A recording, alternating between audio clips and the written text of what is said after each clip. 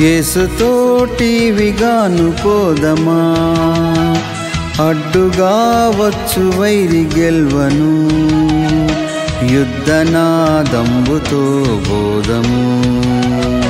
ఏసుతోటి విగాను పోదమా అడ్డుగా వచ్చు వైరి గెల్వను. యుద్ధనాదంబుతో బోధము.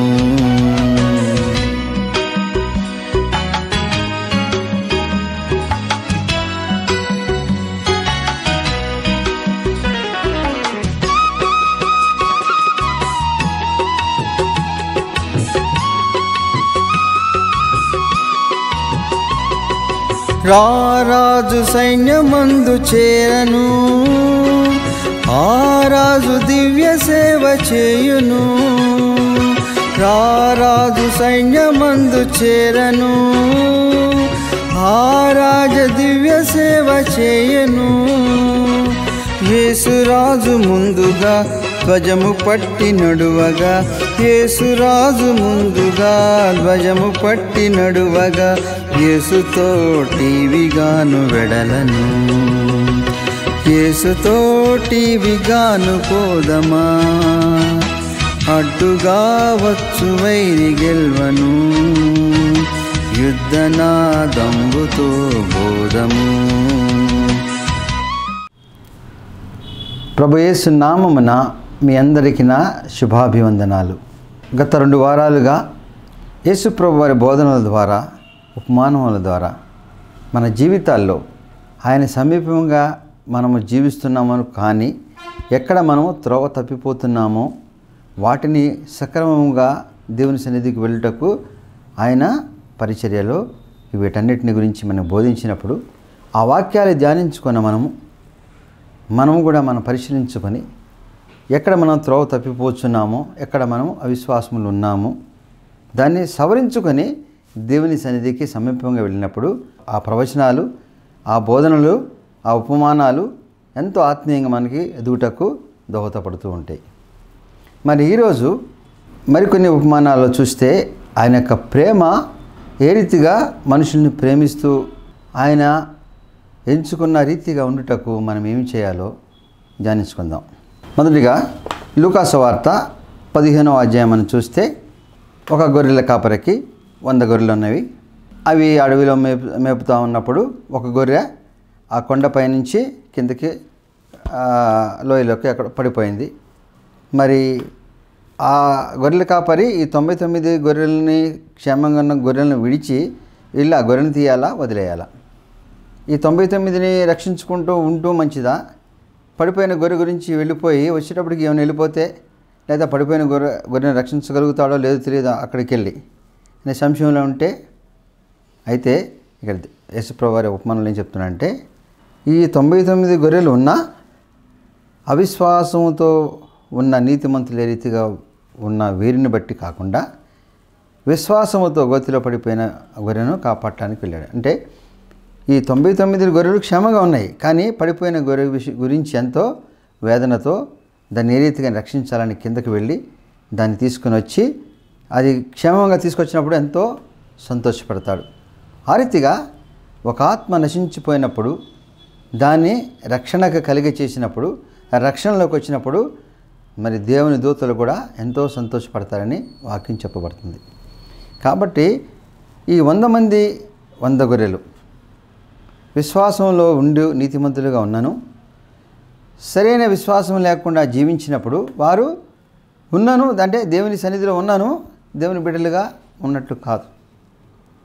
మరి ఒక గొర్రె పడిపోయిన విశ్వాసానికే తిరిగి మారు మనసుతో రాగలిగితే అంటే నెల్లి రక్షించి తీసుకొచ్చినప్పుడు ఆ యొక్క మారు మనసుతో వచ్చిన ఒక గొర్రె విశ్వాసమే దేవుని సన్నిధికి చేరుతుంది కాబట్టి దేవునికి దేవుని దూతలకు పరలోకము కూడా ఎంతో సంతోషపడుతుందని చెప్పబడుతుంది.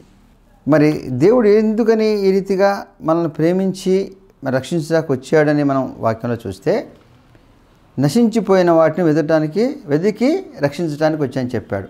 అంటే మనం దేవునిలో ఉన్నాం అనుకుంటున్నాం కానీ నశించిపోతున్నాం. అంటే విశ్వాసంలో బలహీనముగా ఉన్నాము.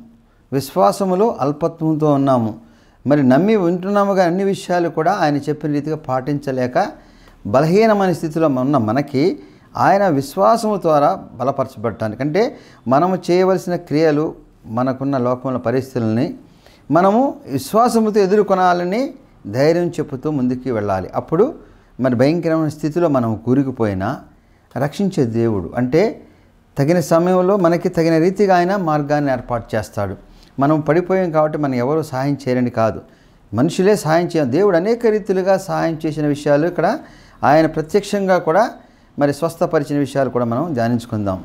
కాబట్టి ఆ క్షణాన అప్పుడు ఎవరో వచ్చి నీ కాపాడతారు లేదా అనుకునే అవిశ్వాసంలో కాకుండా మన విశ్వాసంతో ఎదురు చూసి చేయుచున్న ప్రార్థనలు మరి నిగ్రహము నీతిమత్వం అన్నీ కలిసి మనల్ని విశ్వాసంలో బలపరచబడుతుంది. అయితే ఈ గొర్రె విషయంలో కూడా అక్కడ అవిశ్వాసంలో పడిపోయినప్పుడు మరి ఏదైనా శోధనలో పడిపోయినప్పుడు వాటన్నిటి నుంచి బయటపడగలిగిన తిరిగి పరిస్థితుల్లో మనకి ఉన్నాయా లేవు అని కాకుండా దేవుని నమ్మకం విశ్వాసం ఉంచి మరి మారు మనసుతో ఎప్పుడైతే దేవుని అడుగుతామో దేవుడు ఆ ప్రతి బంధకాలన్నింటిని తప్పించి నిన్ను రక్షించడమే కాదు తన విశ్వాసంలోనికి మరింతగా బలపరచబడతావు కాబట్టి ఆయన తొంభై తొమ్మిది అవిశ్వాసమైన గొర్రెలు అవిశ్వాసుల కన్నా ఒక్క వ్యక్తి మారు మనసుతో విశ్వాసంలోకి రావడానికి కూడా దేవుడు మరి లోయలో కంటే మరి పరలోకం నుంచి ఆయన కుమారుని లోకంలో పంపించాడు. ఆ ఒక్క గొర్రె మనం ఎందుకు కాకూడదు? ఆ ఒక్క గొర్రె మనం ఎందుకు విశ్వాసంలోకి వెళ్ళకూడదు? ఆ ఒక్క గొర్రె మనము విశ్వాసం ఎందుకు బలపరచబడకూడదు? ఎందుకంటే మనము విశ్వాసులుగా ఉన్నాం అనుకున్నాం కానీ అనేక విషయాల్లో దేవునికి మరి వ్యతిరేకమైన క్రియలను అల్పమైన విశ్వాసంతో జీవించున్నాం. మనం చాలా నీతిమత్వంతో ఉంటున్నాము వాక్యం వింటున్నాము ప్రార్థన చేస్తున్నామని అనేక క్రియలు. మరి ఉదయం లేచిన సాయంత్రం వరకు మనం చేసే సంభాషణలో కానీ ఆలోచించే విధానంలో కానీ నడిచే దాంట్లో కానీ ఎన్నో దేవునికి విరుద్ధమైన క్రియలు వస్తూనే ఉంటాయి. వాటిని నిగ్రహించుకుంటాక అనేక శోధనల మధ్యన ఉంటాం. ఆ శోధన జయించగలిగిన శక్తి ఆత్మీయంగా ఎదిగినప్పుడు మాత్రమే ఉంటుంది. తప్పిపోయిన కుమారుడు విషయంలో కూడా మనం చూస్తే అదే మా లూకాసు వార్త పదిహేను అధ్యాయంలోనే చూస్తుంటే మనకి మరి ఒక తండ్రికి ఇద్దరు కుమారులు ఉన్నారు. పెద్ద కుమారుడు తండ్రితో పాటు వ్యవసాయం తండ్రి చెప్పినట్టు నడుచుకుంటున్నాడు. రెండవ కుమారుడు మరి స్నేహితులతో కలిసి ఏదైనా కానీ కొన్ని చెడు అలవాట్లు నేర్చుకొని ధనవతి ఈ లోకంలో సంపాదించుకోవాలని తండ్రిని మరి వేధించినప్పుడు తండ్రికి అయిష్టంగా నన్ను కొడుకు కోరినది ఇచ్చి పంపించాడని అతను వెళ్ళిపోయి దూరదేశంలో అన్నీ ఖర్చు చేసుకుని విలాసాలకు అయిపోయిన తర్వాత వచ్చిన స్నేహితులు అందరూ అతను విడిచి వెళ్ళిపోయినప్పుడు అప్పుడు తను ఉన్న స్థితిని గ్రహించి పందులతో సహా జీవించడానికి కూడా సిద్ధపడి ఆ పందుల దగ్గరికి వెళ్ళి వాటి ఆహారం తినేటప్పుడు అప్పుడు అనుకుంటాడట నేను ఇంత భయంకర స్థితిలోకి వచ్చాను నా తండ్రిని ఎదిరించి నా తండ్రి నన్ను తీసుకో క్షమించాడు. ఇంత స్థితిలో వచ్చిన నేను నా పరిస్థితి పందుల పొట్టు తినే కన్నా నా తండ్రి ఇంట మరి సేవకులు నాకన్నా మంచి భోజనం అన్నీ కలిసి ఉంటాయి.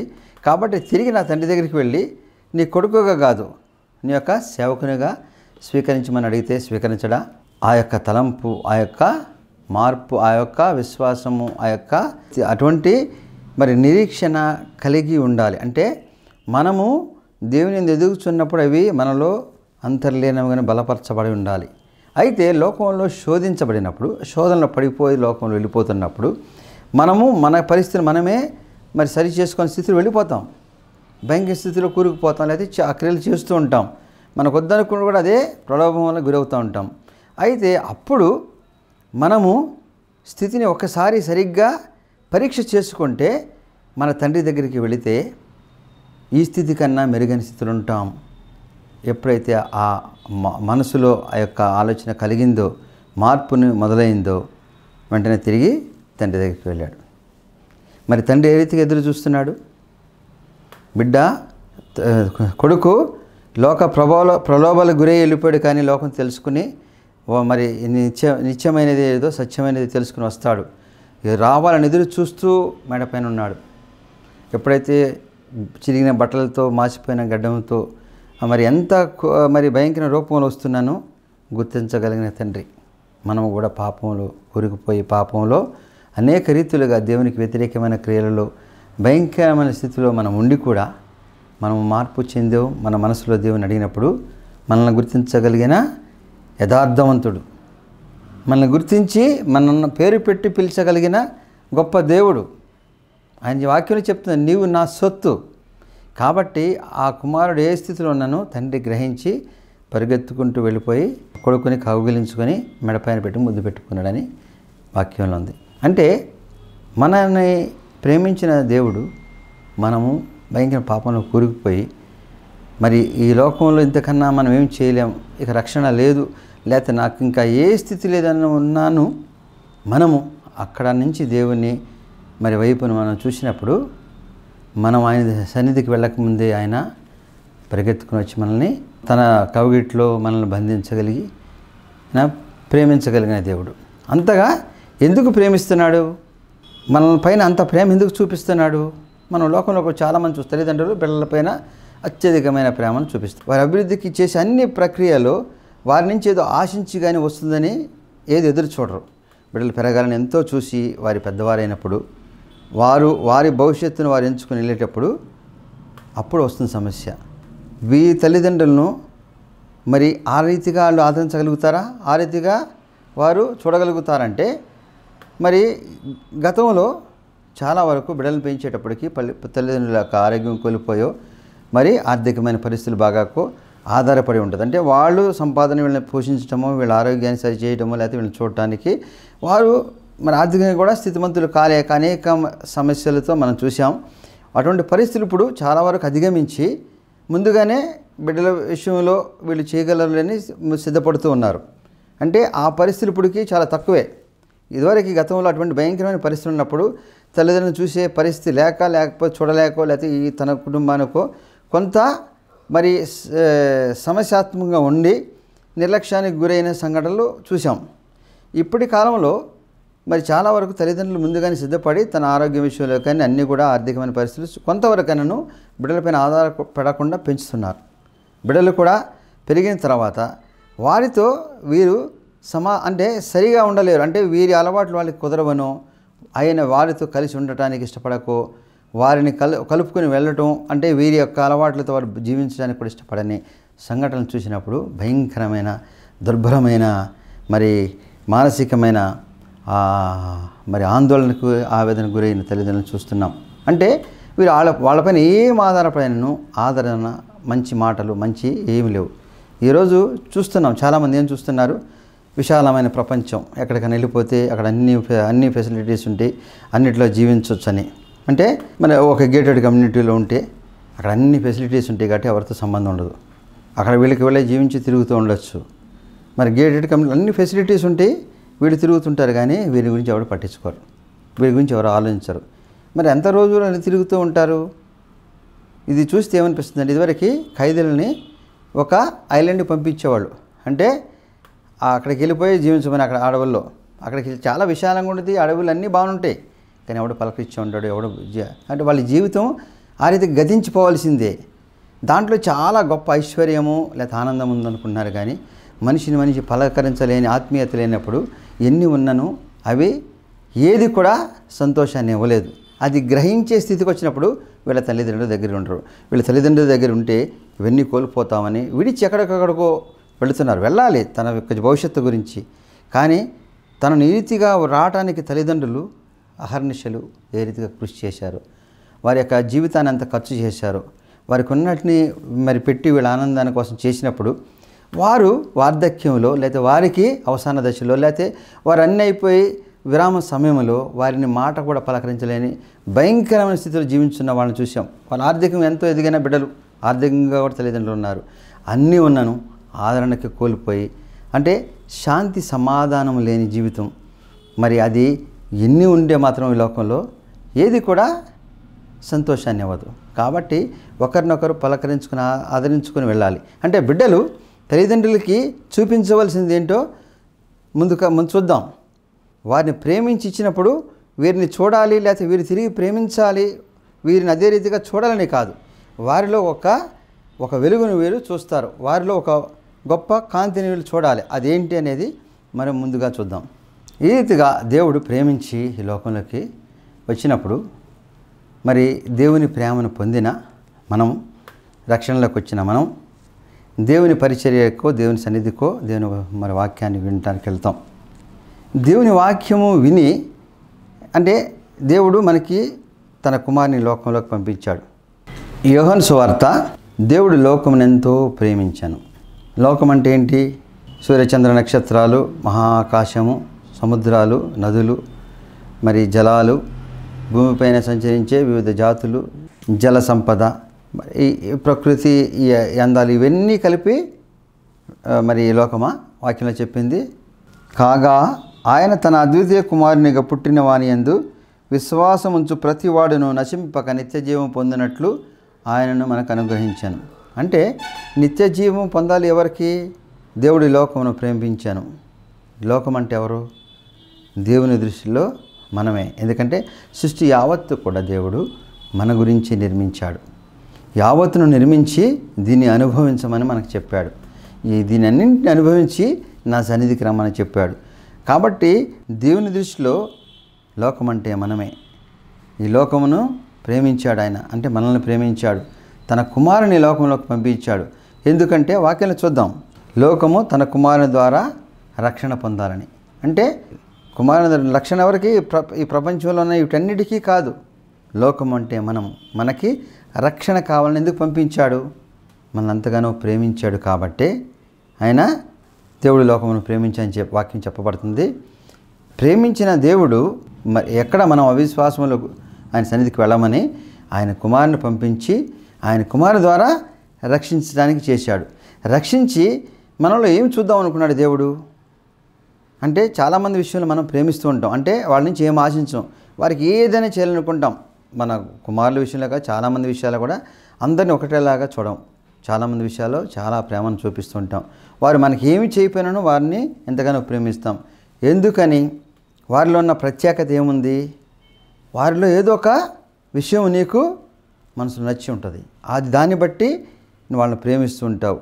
అయితే నువ్వు ఎంతగా ప్రేమించి అన్నీ చేసినప్పుడు ఏమి తిరిగి ప్రతిఫలం కోరుకోవు కానీ నువ్వు ఏ విషయంలో వారిని నచ్చి ప్రేమిస్తున్నావో అది ఫలించినప్పుడు మాత్రమే నీ ప్రేమకు నీవు సంతోషంగా ఉండగలుగుతావు. దేవుడు కూడా మన లోకంలో మనల్ని ప్రేమించాడు అన్ని విషయాలు లోకంలోకి మనకి ఇచ్చి లోకాన్నంత లోకాన్ని అనుభవిస్తూ ఉంచి తన రక్షణలోకి రావాలని మనం చూస్తున్నాం. అంటే మనము దేవునికి మనం ఏం చేయాలి? ఆయన రక్షణలోకి వెళ్ళి ఏం చేయాలి? అక్కడ ఏం చేయాలో ఒక క్రియ చేయాలి మనం. అది దేవుడు చేసినప్పుడు ఆయన ఎంతగా ప్రేమించి ఆయన కుమారుని పంపించి రక్షణలో తీసుకున్న మనము రక్షణలోంచి ఆయన దగ్గరికి వెళ్ళిపోతామా? రక్షణలోకి వెళ్ళేటప్పుడు చేయవలసిన ఒక కార్యం ఉంది. దాన్ని చేయకుండా ఈ లోకంలో విరుద్ధంగా జీవించినప్పుడు దేవుని బిడ్డలుగా ఎంచబడం. అది ఏ రీతిగా అంటే ఒక ద్రాక్ష తోట యజమాని మరి ద్రాక్ష తోటనంతా వేయించి దానికి కంచె అన్ని వేయించి దానికి కొంతమందిని కాపులను పెట్టి పంటకాలం వచ్చినప్పుడు పంటలో మరి ఆయనకి రావాల్సిన భాగం గురించి మనుషులను పంపించినప్పుడు వాళ్ళు యజమాని యొక్క మనుషులను చూసి వీరికి మనం ఎంతకాలం పండిస్తే వీళ్ళకి ఎందుకు ఇవ్వాలి అని వాళ్ళు కొంతమందిని కొట్టారు కొంతమంది చంపారు కొంతమంది హింసించారు. ఈ రీతిగా వారిపైన తిరుగుబాటు చేశారు. సరే యజమాని చూసి మరి కొంతమందిని పంపించాడు. వారిని కూడా ఆ రీతిగానే వారు సంహరించారు. అంటే యజమానికి ఇవ్వకుండా. తర్వాత ఆయన కుమారునే పంపించాడు. ఆయన కుమారుని కూడా సంహరించాడు. అప్పుడు యజమాని ఏం చేస్తాడు? ఆయన వచ్చి ఎవరికైతే గుత్తదారులకు ఇచ్చారో వారందరినీ మరి హింసించి లేకపోతే వారందరినీ తీసివేసి కొత్త వాళ్ళకి ఇచ్చి వెళతాడు. ఇట్లా దేవుడు మారు మనసు పొంది లేకపోతే దేవుని సన్నిధికి దేవుని బిడ్డలుగా పిలవబడిన వాళ్ళు దేవుని పరిచర్యలో ఉన్నవాళ్ళు వీళ్ళందరూ కూడా ఏకమై మరి దేవుని సహవాసంలో ఉండాలని సంఘము ఉండాలని సహచర్యముతో అందరూ కలిసి ఆయన సన్నిధిలో ఉండాలని దేవుడు ఏర్పాటు చేశాడు. ఏర్పాటు చేసినప్పుడు దేవుని సన్నిధికి వచ్చిన వాళ్ళు అందరూ ఉంటారు. మారు మనసు పొందిన వాళ్ళందరూ కూడా ఆ సహచర్యంలో ఉన్నప్పుడు వారందరూ కూడి దేవుని ఆరాధించడం స్థుతించడం దేవుని కార్యాలు చేస్తూ ఉన్నప్పుడు దేవుడు మరి ఆ వారి నుంచి ఏం ఆశిస్తున్నాడు? తను ఎంతగా ప్రేమించిన వారి నుంచి దేవుడు ఏం చూస్తున్నాడు? ఏమి వారిలో కలగాలని ఎదురు చూస్తున్నాడు? వారి సహచర్యంలో దేవుని యొక్క నీతిమత్వాన్ని బహిరంగపరచబడి మరికొంతమందిని దేవుని సన్నిధికి చేర్చగలిగినట్లు ఉండాలి. అయితే వీళ్ళేం చేశారు చేశారో? ద్రాక్ష తోట వాళ్ళు?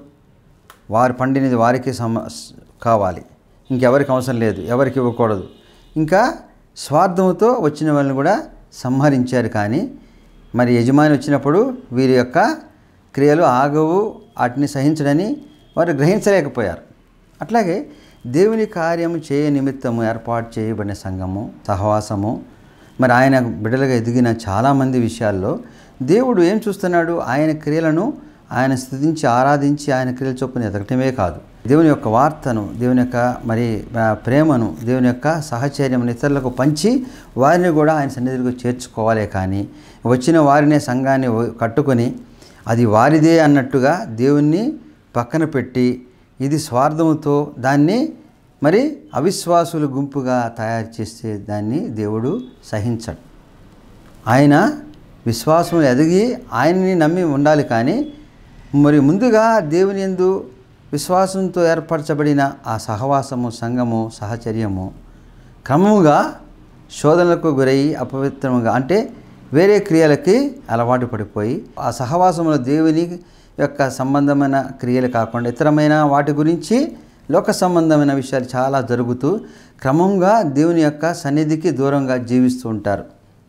మరి అక్కడి నుంచి దేవుని యొక్క ఫలములు ఆయన సన్నిధికి చేరే రీతిగా కాకుండా వాటిలో ఉన్న క్రియలు ఆలోచనలు ఆ సహచరంలో మరి జరిగే ప్రతిదీ కూడా దేవునికి దూరంగానే ఉంటాయి కానీ దేవుని సంబంధంగా కనబడుతూ ఉంటుంది కానీ దేవునికి ఆత్మీయంగా ఎదిగే బిడ్డలాగా ఉండని అనేక సంఘాలు అనేక క్రియలు చూసాం అయితే దేవుడు మరి సంఘాలుగా సహచర్యంగా ఏర్పాటు చేసి ఆయన సన్నిధిని నడిపిస్తున్న ఉన్న వాటిని గురించి మనం చూస్తే కొన్ని క్రమంగా తర్వాత అవిశ్వాసంలో మరి కొ- బలహీనమైపోయి చూసాము మరి కొన్ని పెరుగుతూ మరి ఆత్మీయంగా ఎదుగుతున్నట్టు కనబడిన ఆ యొక్క క్రియలన్నీ కూడా మరి ఆ దేవుని నీతిమత్వాని కన్నా వ్యాపార నిమిత్తంగా కనబడినవి ఉన్నాయి.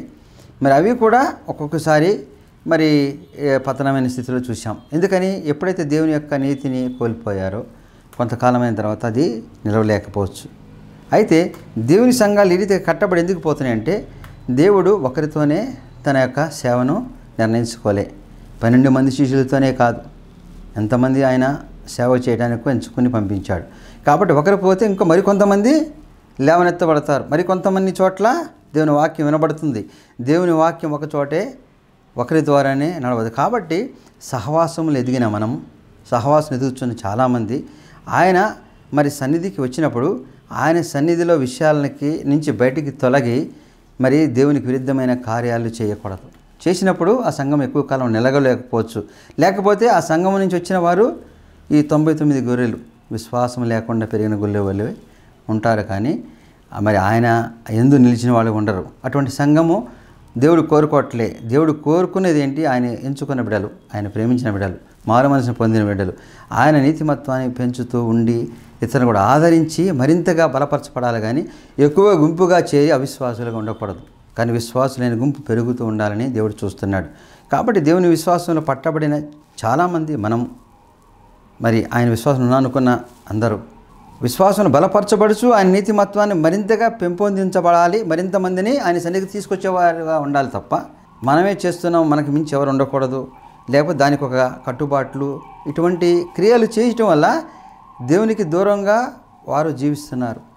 కాబట్టి దేవుడు ఈ ద్రాక్ష తోట యజమానికి ఏదైతే అప్పచెప్పాడో అది నిర్వర్తించి మంచి ఫలాలు అనుకున్నాడు కానీ అవి స్వార్థంతో కూడినప్పుడు అతను తొలగిస్తాడు. అట్లాగే దేవుని పరిచర్యలో దేవుని సేవలో దేవుని బిడ్డలుగా ఎదుగుతున్న మనం విరుద్ధంగా జీవించినప్పుడు తొలగించబడతారు. కాబట్టి ఆ విశ్వాసానికి గురి అవ్వద్దు మనము చేయిస్తున్న కొంత విశ్వాసాన్ని బట్టి మనము దేవుని ఎందు ఉన్నవాళ్ళము అని అనుకుంటూ దేవుని కానీ అధికులమనే ఒక అవిశ్వాసంలోకి వెళ్ళిపోయి చాలామంది అల్ప విశ్వాసంలో పడిపోతుంటారు.